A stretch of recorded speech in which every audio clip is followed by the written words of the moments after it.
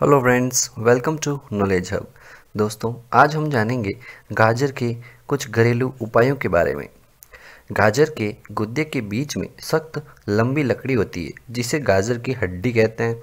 इसमें beta carotene नामक औषधीय तत्व पाया जाता है। यह कैंसर पर नियंत्रण करने में उपयोगी है। लंबी बीमारी भोगने के बाद उसकी क्षतिपूर्ति करने में गाजर का रस बहुत ही प्रभावकारी है। इससे रोगी चुस्त, ताजगी से भरपूर और शक्तिशाली बनता है। विटामिन ए की कमी से नेत्र ज्योति कमज़ोर होते होते व्यक्ति अंधा भी हो सकता है।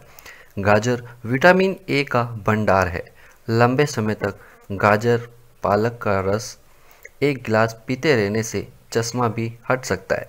गाजर और पालक प्रत्येक का रस समान मात्रा में मिलाकर नित्य दो बार पिएँ। कच्ची गाजर चबाकर खाने से सर्वाधिक लाभ होता है। गाजर की पत्तियों की सब्ज़ी खानी चाहिए। गाजर की पत्तियों में गाजर से छः गुना अधिक लो तत्व होता है। गाजर के गुण दूध, कॉड लिवर ऑयल और लाल पाम के तेल के गुणों के समान होता है।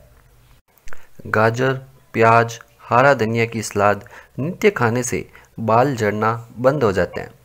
इस सलाद से फॉस्फोरस अधिक मिलता है, जो बाल झड़ना रोकता है। गाजर पालक के रस का एक गिलास नित्य पीने से काफ़ी लाभ होता है। गाजर पालक चुकंदर का मिश्रित रस एक एक गिलास नित्य दो बार पीने से रक्त बढ़ता है। गाजर और पालक के रस में सिका हुआ जीरा, काला नमक मिलाकर पीने से गुणवत्ता बढ़ जाती है।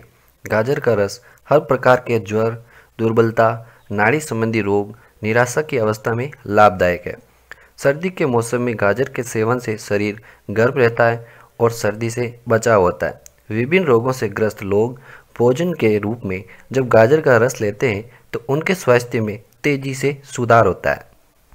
गाजर में दूध के समान गुण हैं। गाजर का रस दूध से भी उत्तम है। दूध न मिलने पर गाजर सेवन करके दूध के सारे गुण प्राप्त किए जा सकते हैं। Okay friends. Thanks for watching this video